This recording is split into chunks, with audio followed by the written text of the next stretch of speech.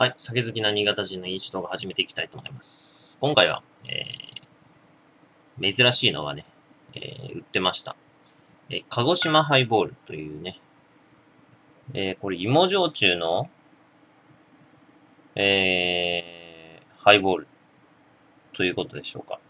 えー、国産芋使用、手仕込み、えー、アルコール度数7%、えー、糖質ゼロのプリン体ゼロ、え、宝山特別限定酒と書いてあります。こちら、あの、セブンイレブンで売ってました。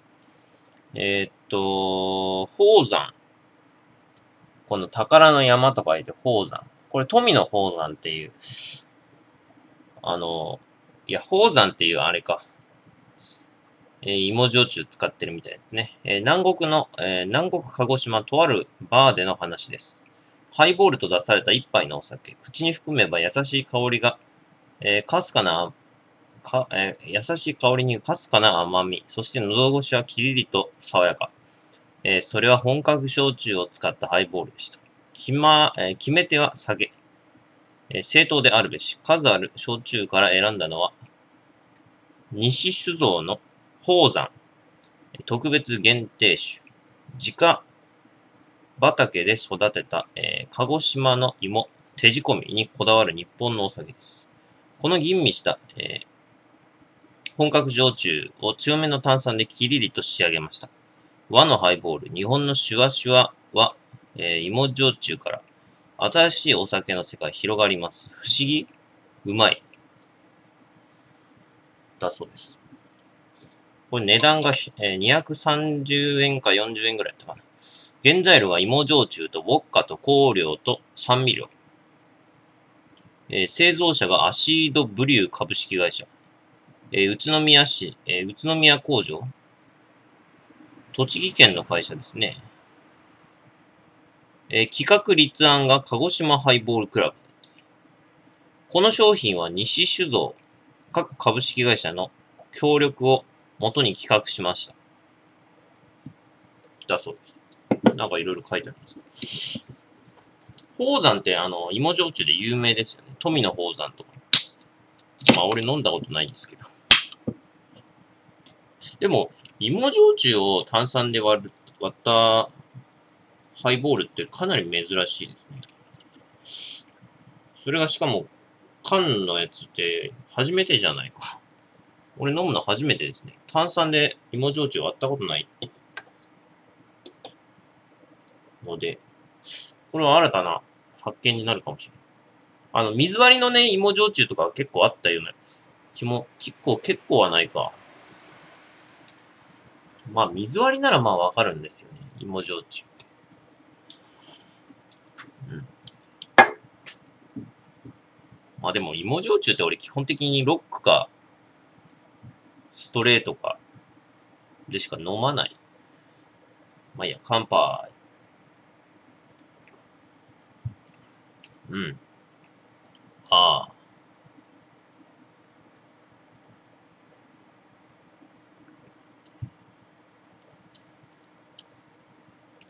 うん。ほのかな甘み。芋の香り。宝山。宝山。酒造。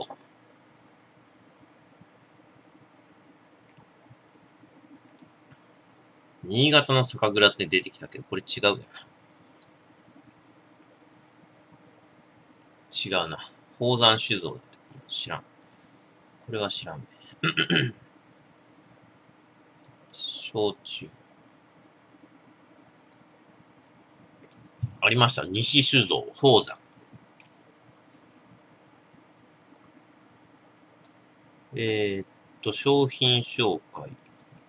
ああ、宝山ですね。富の宝山とかで有名ですけど。俺飲んだことないな、これ。普通の宝山。宝山俺飲んだことないですね。よく考えると。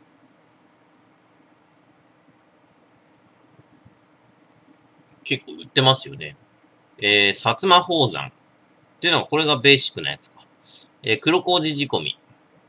えー、宝山の原点の、えー、薩摩宝山のさらに原点と言える黒。2011年モンドセレクション金賞受賞。なるほど。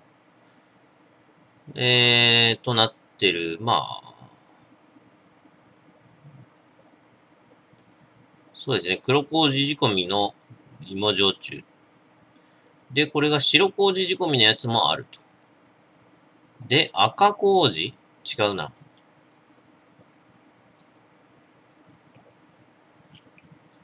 紫、紫芋っていうの。で作った、えー、のもあり。で、えー、あと赤色の赤、赤のやつもあるね。で、俺が知ってるのが、えー、富の宝山。という金色のやつですけど。キロコ、気候時仕込みか。これ結構高い。プレミアついてんじゃなかったあの、720ml で確か値段が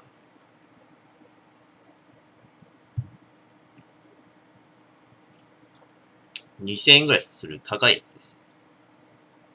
まあ、あといろいろ出てますね。えー、富の宝山。富の宝山は高いんで買わない。まあ、プレミアついてるっぽいんでね。こっちだと多分プレミアついてるんですよ。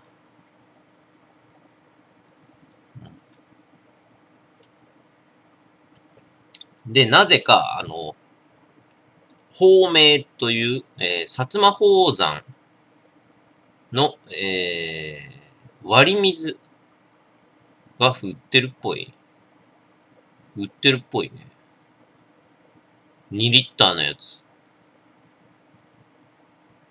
宝山、えー、宝山シリーズの仕込み割り水に用いる水です。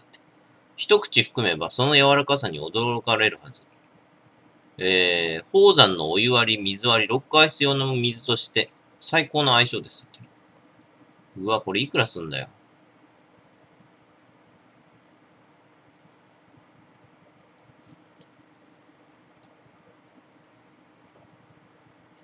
えー、こちらの西酒造株式会社は、えー、鹿児島県の会社ですね。まあ、まあ、芋焼酎ですか？当たり前か。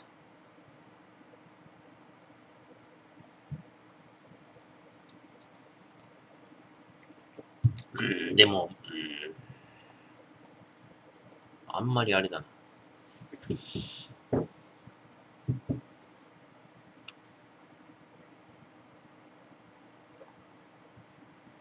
ハイボール。うん、正直微妙としか言えない感じはありますね。えー、っと、先ほど言ってたプレミアの富の宝山ですが、1.8リッターで4093円と、えー、格安の栄で売ってます。ネットでね、高い。900ml で2000円だったか。そこら辺のスーパーで売ってるのは確か 900ml とかで2000円。いや、違うな。720ml だな。720ml で2000円は高いですよね。普通720だったら、まあ、1000円ぐらいです。普通。普通のやつだった。やっぱちょっとプレミアついてるくせな。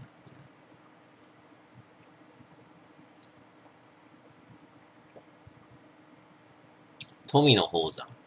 普通の薩摩宝山か。薩摩宝山もちょっと飲んでみたい。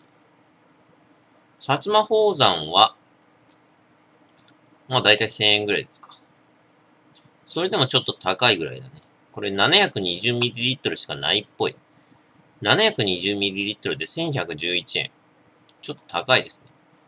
一般的なあの芋焼酎って大体 900ml が売ってるんで、900ml でだいたい1000円ぐらいなの。900円とかなんですよ。俺がよく、あの、好きな、あのー、芋焼酎の、あのー、なんだ、黒霧とか、イサ、イサ大山とか。これはあの900円で売ってます。ので安い。のでいいんですけど。うんまあちょっと今度、まあでもカップ、カップのやつが売ってたらいいんだけどね。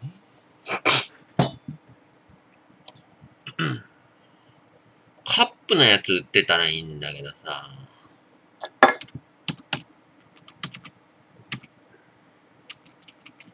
あの 200ml ぐらいのやつ。あれが、ちょこっと、その、飲むのに一番いいんだけど。どんなやつかを、こう、うまいかまずいか的な感じで飲むのに一番いいんだけどさ。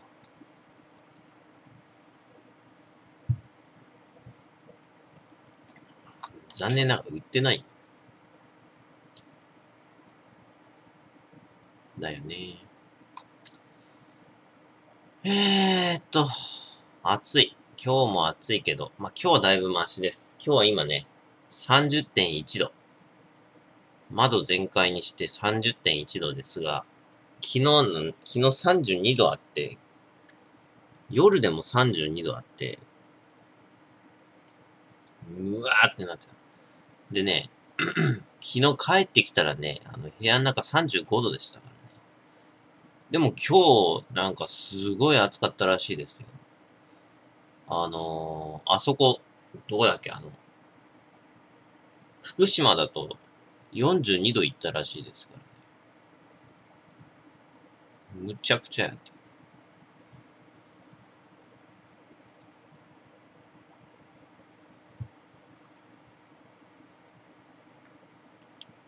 むちゃくちゃですね。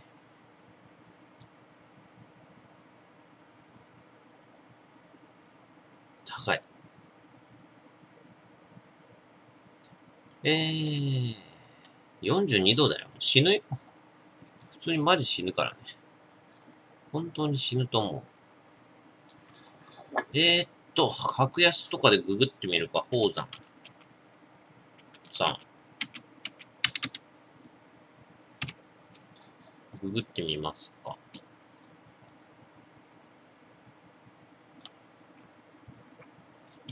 ああ、やっぱりあれですね。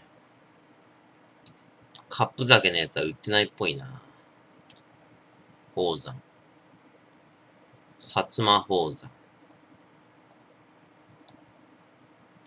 薩摩宝山ってそもそも多分売ってないんじゃないか。大体。大体多分薩摩宝山っておそらく、ああ、やっぱり 720ml と 1.8L のやつしか売ってねえし。はあ。ここの会社 900ml も置いてないってすごいな。なんか、何なんだろう。なんか、いかに自信が、自信の表れですかね。普通でも焼酎って、芋焼酎ってさ、900ml 売ってるの常識の、常識っていう、いう概念じゃない。普通。普通 900ml 売ってるよね。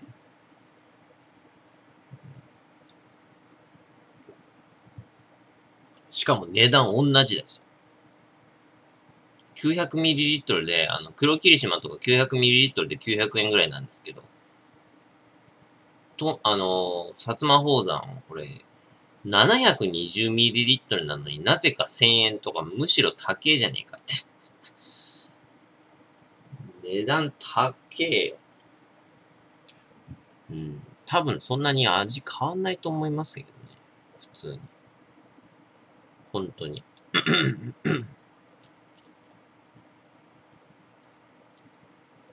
まあでもこの暑い時はやっぱり、まあハイボールでもいいかもしんねえけど。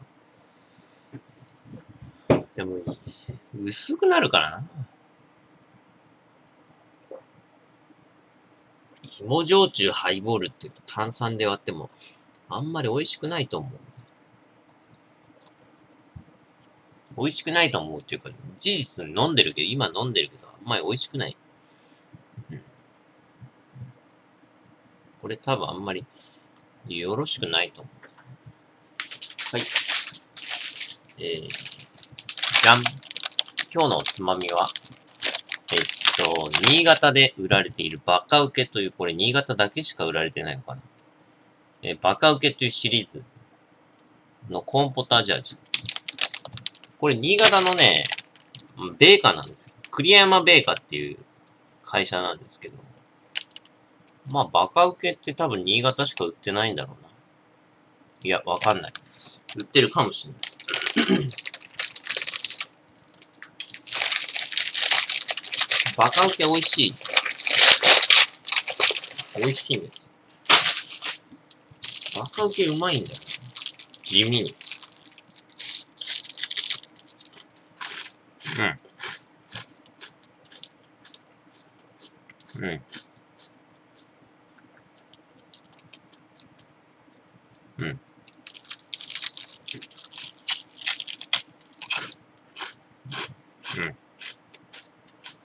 ちょっとあれだな。あの、うまい棒のさ、コンポタージュ味はめちゃくちゃ美味しいんだけど、あれなんで美味しいかっていうと、あれもともとね、あの、コーンが使われてるから。これ、米菓なんで、米なんですよ、この原料が。このサクサクとした生地。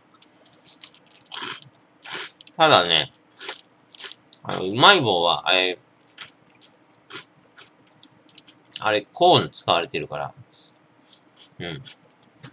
生地。生地自体がコーンでできてるから。だから合うんだ。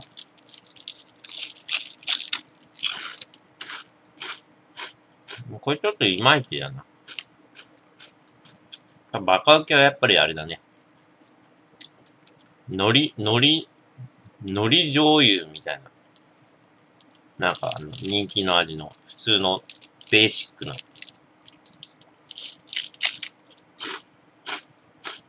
味が美味しい。うん。あの、醤油のね、しょっぱさと海苔の香りが漂う。うん。感じでしょうか。うん。まあ、富の宝山はちょっと、微妙ではあるな。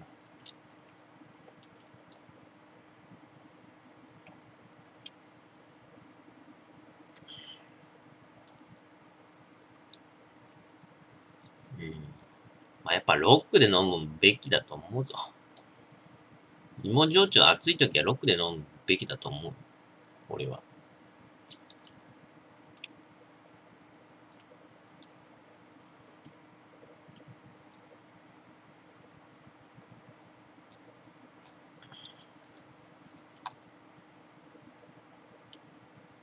ああ、いいね。芋焼酎を、に、あの、つまみが、あの、大福？大福をつまみにしてるブログの人いるね。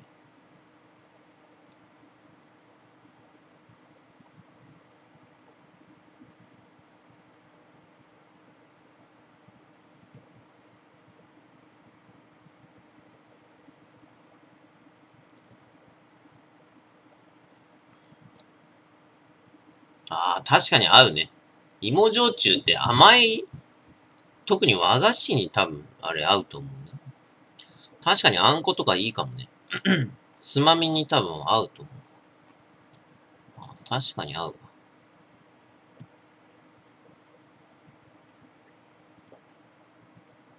あ、確かに絶対合うと思う芋焼酎。あ、芋焼酎に絶対これ合うわ。大福。あ、いいっすね。あ、これいいっすね。あ、これ、うまそうだな。大福食いながら芋焼酎って、あ、絶対うまいな。あ、やべえ。そういえば今思ったけど、あれだわ。あの、兄貴が、あのー、最近、山形の水族館に行ってきたっつって、塩大福買ってきたんだ。ちょっとそれ飲むか。それ食うか。食いながら飲むか。ああ、絶対あんこと合うわ。あんこと。あんこと芋焼酎って絶対合うと思うわ。ちょっとこれロックで。ちょっと取ってくるわ。大福取ってくるわ。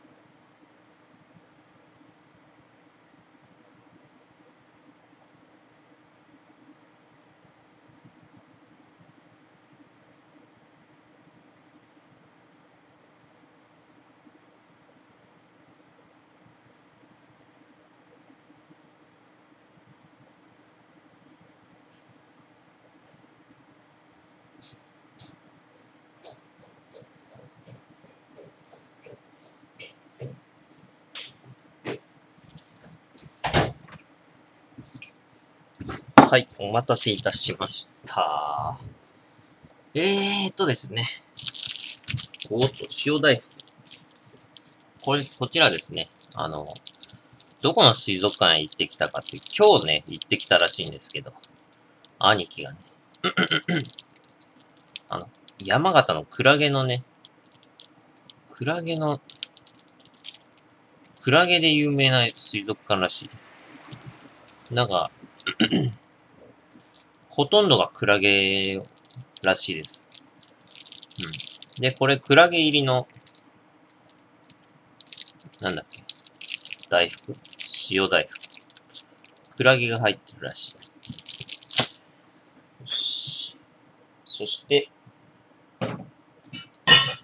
安定の、イサ大山ちゃん。久々に出ました。イサ大山。まだ全然飲んでない、ほとんど。一杯ぐらいしか飲んでないな、これ。この感覚でいくと。最近芋焼酎全然飲んでねえんだよな。まあ、こちらを適当にロックでいただきますか。イサ大山ちゃんね。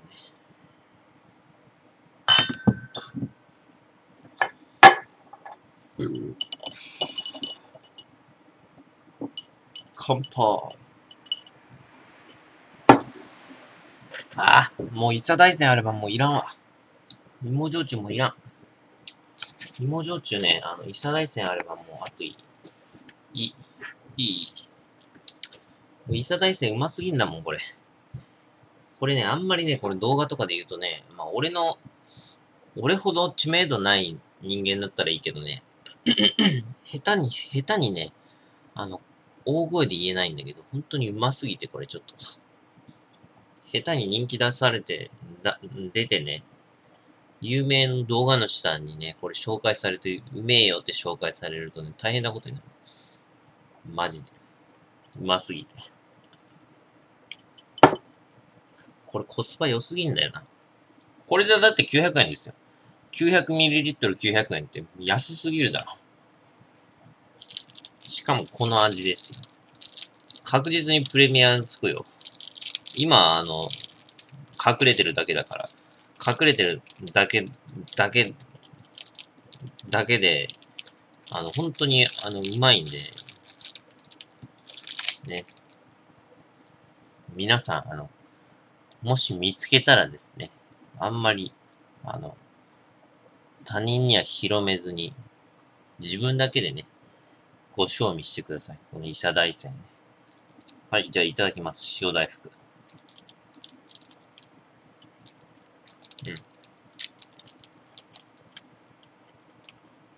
まあ、ぶっちゃけた話、クラゲ入りって言うけど、ちょこっとね、なんかね、こんなぐらいの、米粒以下ぐらいのなんか、黄色い何かが入ってる。多分これクラゲだ。うん。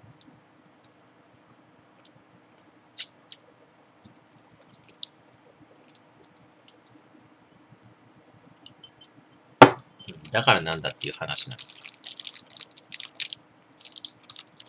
うん。この暑さでなんか、この大福のこのさ、外側のこの、牛、牛皮が溶けかけてる。もうだらーんってなってる。うん。まあ普通に大福ですね。別に塩が効いてるわけでもない。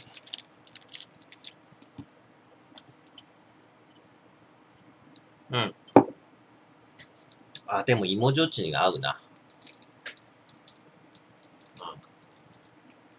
これは合うわ。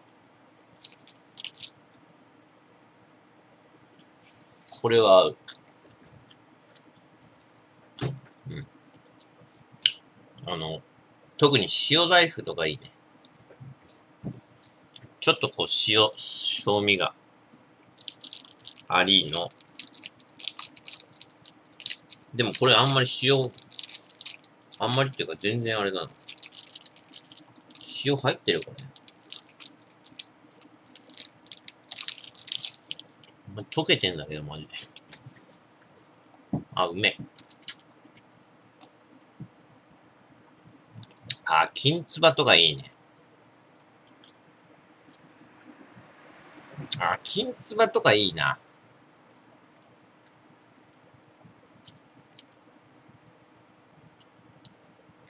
うわぁ、金つばうまいよね。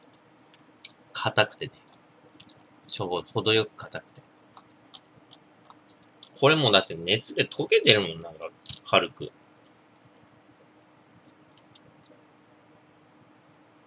軽く溶けてるもんな。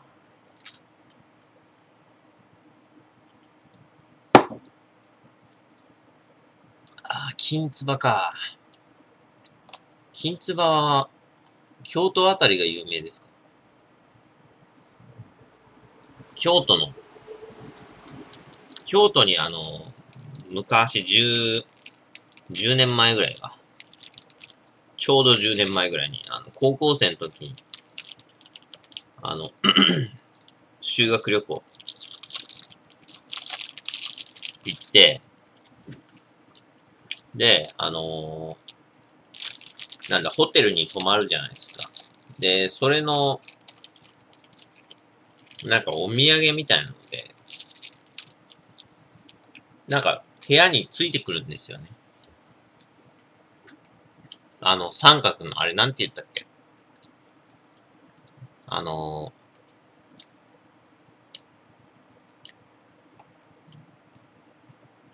ー、和和菓子ね。あの、例の三角の、三角形の、あれなんて言ったっけと。まあ、忘れましたけど。ね、あれが印象に残ってますけど。まあ、京都って言ったら、あれなんて言ったっけな俺あの、まあ、あれなんですよ。結構、あれ、あれとかって言ってますけど、あれ、絶対ね、俺の予想だと、俺、絶対、あの、若年性地方症だと思うんですよ。全然出てこないんだよね。27歳にしてこの出なさですよ。これ絶対おかしいと思うんだよな。酒の飲みすぎであれかな。若年性腸症になったかな。わかんないんだけど、マジで出てこないんだよね。あれとかを多用して、で、最終的に出てこないっていうパターン。かわいそうですね。あれなんだっけな？京都の和菓子。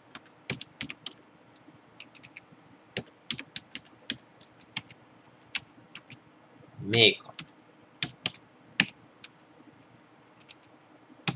メーカ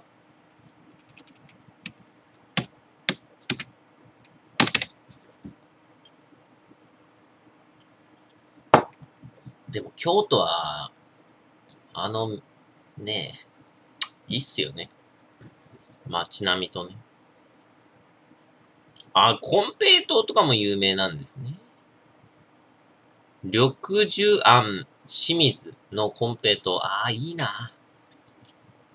コンペイトーとかもなかなかあれだよね。食う機会ないよね。あれ、コンペイトーって、あれ知ってますか？まあ、知らないか、まあ、あんまり、うん、これ自慢にはならないと思うけど。コンペイトーってあれ、もともとあれ、もともとじゃないけど、あの、つぶつぶ、あの、トゲトゲしてるじゃないですか。あれってこれ、コンペイトーを作るときに、あの、なんか爆発させて作るんだっけ？なんかそれで、あの、その衝撃で、つぶつぶつぶってなるらしいですね。うん。決してこう、加工して、わざわざその、成形してこの、トゲトゲを作ってるんじゃなくて、なんか、製造の過程でこう、トゲトゲトゲってなるらしいです。だからずっとあの、形が、なんでこうトゲトゲしてんのかなって思ってたんですけど。あ、そうなんだって感じですね。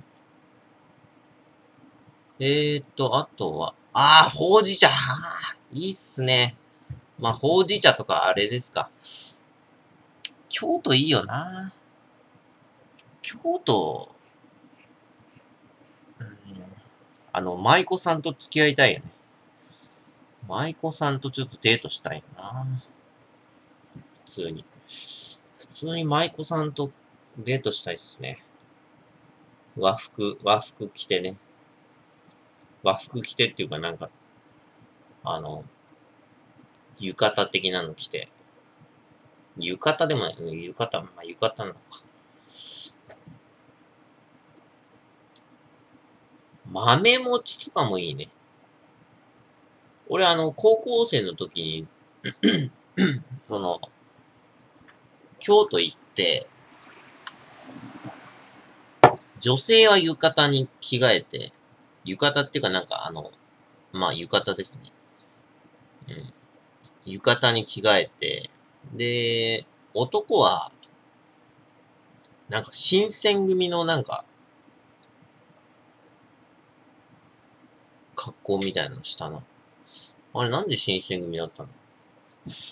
あただ、いわゆる男用のあれ浴衣だったのかなわかんないんだけど、なんか新選組っぽいなんかか格好した。まあいいでも男物の浴衣って結構あれだからな。簡素だからな。女性物の浴衣って本当にあの、着付けとかしなきゃ、あれですよ。着れないでしょ。あの、腰の部分のマークなんかあの、帯みたいなのがね。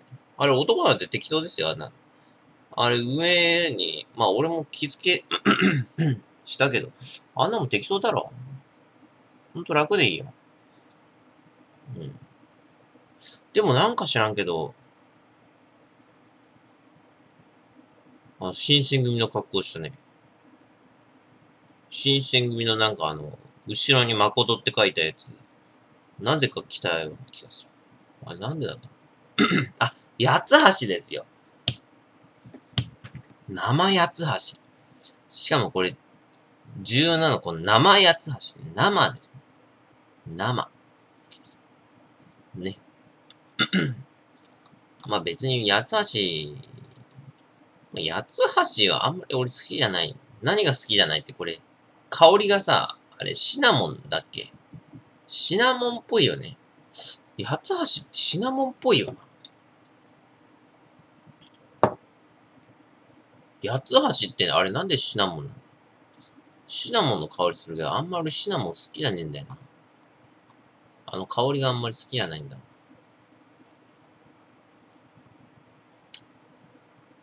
シナモン八つ橋だ。そう、八つ橋ってそもそも。それは出てこねえわ。だって八つ橋なんてお前言わねえもん。何八つ橋って。いう話よ。本当に。これだって、香りが特徴的だよな。なんか、あれ、本当に、あの、シナモンっぽいよな。あれなんで、なんでシナモンっぽいんだろう ああ、八つ橋に使われてるのは日記らしいの日記。あの、よくある日記飴って、まあ今でも売られてると思うんですけど。シナモンっぽいんですかね？あ、シナモンの和名が日記らしい。あ、じゃあシナモンで合ってるんだ。やっぱそういうことなの。だからなんかさ、シナモンってあんま好きじゃないんだよ。なんかシナモンのさ、まあ好きじゃないっていうか別に好きでも嫌いでもないんだけど、ただ、言うならば、和菓子にシナモンって合わねえよって話。あの、食パンにさ、バター塗ってシナモンパパパってやって、砂糖パパパってかけて、だったら美味しいは美味しいんですね。和菓子ってあくまでも和でしょ日本でしょそれなのになんでシナモンっては？みたいな。まあ、ぶっちゃけた話、日記っていうらしいですから、日記があれか。和だから仕方ないのか。ちょっと特徴的すぎるよね、味がね。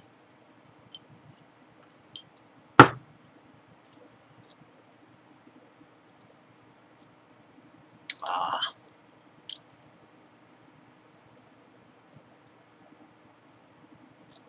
いいね。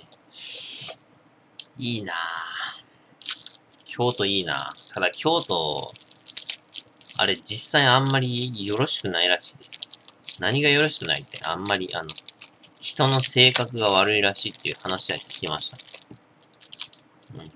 あの、大阪の方がいいらしい、ね。京都のそう、祇園ですね。祇園に行きました、俺。なんかね、大阪とね、京都。でね、性格がね、なんだっけな。あの、京都って、まあ、外側はね、ニコニコニコニコしてるらしいんですけど、実は内側が内面がすごいギトギトしてるらしい。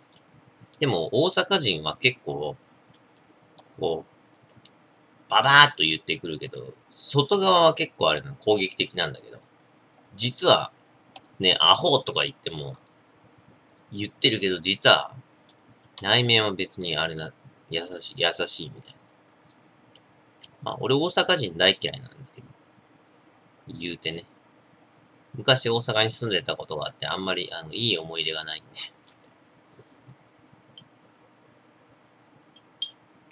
ああ、でも塩豆大福いいな。塩豆大福いいな。ここに豆が入ってたらまだ美味しいんだけど、ちょっとこれ塩ぶっかけてみる。ちょうどですね、ここに、ポクチン。じゃーん。塩を常備しております。じゃがーん。食卓園。これをですね、ぴゃっぴゃっぴゃっぴゃっぴゃっぴゃっぴゃっぴゃっとかけて、まあ、俺、結構ね、あの、料理には、あの、マニアでして、マニアでもないんだけど、結構ソースとかより塩をかける派な。いわゆるあの、塩ラー、まあ俺マヨラーでもあるんだけど、結構ね、あれなんだ。こだわる派な。これをここら辺に塗ったく、で、食べる。あ、ああ、うまいわ。正解。正解。これせ、正解だな。全然塩の味しなかったから。ちょっとこれあれだわ。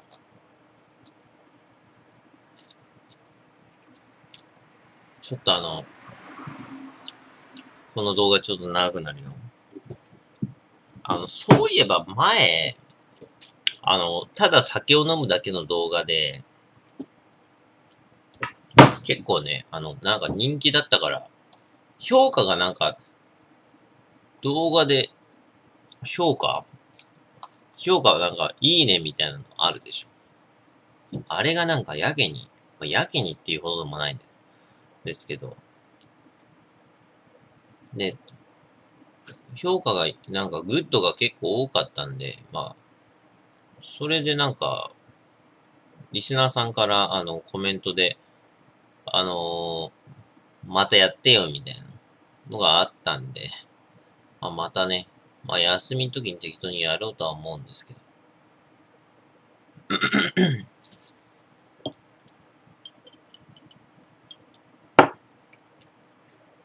まあまあ、ただ酒を飲む、飲んで適当になんか、言うだけの動画なんをね、またやろうとは思います。ぜひね。まあ、まあ、ぜひってこともないけども。うん。まあ別に俺自体は、あの、酒飲んでるのが好きなんで。ね。でね、あのー、また関係ないんですけど、最近ね、タバコがね、また吸いたく、吸いたくなってきたというかね。あなんかま、前コメントで、あの、よくそんなすっぱりやめられますね、みたいなコメントがあったんですよ。でね、いや、俺別になんか、なんか、タバコの動画だとやけになんか、ふかしふかし言われてて、うん。ふかしだな、とか、結構言われてなんかディスられてるんですけど、なんか悪いのかなって思うんですよね。別にいいじゃん。美味しく吸えれば別にいいじゃん。何、ふかしが悪いのみたいな感じなんですけど。よくわかんないんですよね。肺に入れ、その、肺に入れたらうまい。の肺って結局味覚、未来ってない。でしょ。味覚を感じる期間ってない。ですよ。舌だけなんですよ。味覚を感じる期間って。当然ですけど。うん。で、香りを感じる期間は鼻しかない。わけでしょ。だから喉以降はもうい。わゆる喉以降で味を感じることはないんです。だから別にふかしても問題ないと思うんだよね。で、なんかそれをなんか、何なのかわかんないんですけど、なんかディスりたい人のが多くて、やけに俺の、あの、出演動画にやけにコメントしてきて、なんか、あ、ふかしだな。ふかしだな。ふかし決めえ、みたいな。なんかやけにね、俺をディスってくる人がいるんですけど、あれ一体何なのかと思うんですけどね。まあ俺別にまあ、このふかしのうまさをわからん人間かと思って、まあ、ちょっと鼻で笑ってますけどね。うん。でもね、最近酒とか飲んでる、プラス、あの、今日もですけど、あの、コカ・コーラ。コカ・コーラ飲んでるときに、やけにこう、タバコ吸いてえな、みたいな感覚が来ましてですね。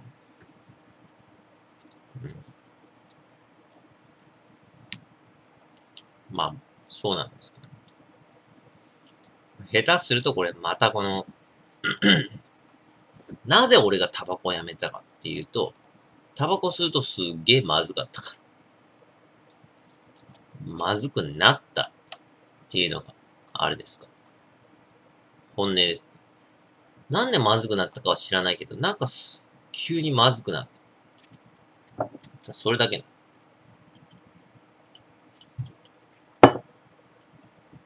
だから下手するとまたこれちょっとコンビニでね、適当なの買って、またこう、再熱するパターン。再熱するパターンがあるぞ、これ。もしかしたら。やばいぞ。やばいな。なんか酒飲んでる、ビールとか飲んでる時も、ちょっとタバコ吸いてなって思う時はあるんですよ。結局なんか手持ち豚さんになってるっていうか、俺そもそもあんまり、あの、あれ食べないんで、あの、つまみ？つまみがほぼ食べない人間ですか？ら。つまみ食べないで何するかっていうと、タバコ吸うのが、まあ良かったりしてたんで。うん。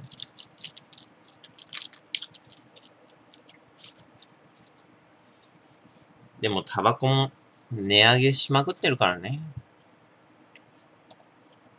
まあでも趣味では、うん、まあねえタバコ趣味ですからね。うん、まあ、タバコ結局何の、そのあれもなしに吸ってる人間よかいいでしょ。ううまいとも感じないで吸ってる人いるんですよ。本当に。なんで吸ってるのかわからないって、俺昔、あの、バイトしてた時、先輩に、ね、なんでタバコ吸ってるんですかって聞いたら、いや、なんでだかわかんないって。しかもその先輩が吸ってたのは確か、メビウスのスーパーライト。メビウスっていうか、まあ、いわゆる、マイルドセブンですね。昔で言う。スーパーライトを吸ってて、6ミリだっけ ?6 ミリのやつ吸ってて、なんで吸ってるかわかんないって言ってたの。なんじゃそりゃと思ったの。そういう人間よかマシでしょ。うまいと思って吸ってれば、それはもう、いい、いいと思いますよ。僕は。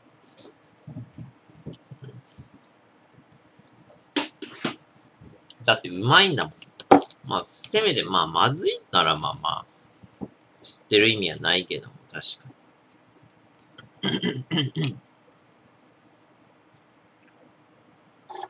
ということで、今更この鹿児島ハイボールをレビューしますけども。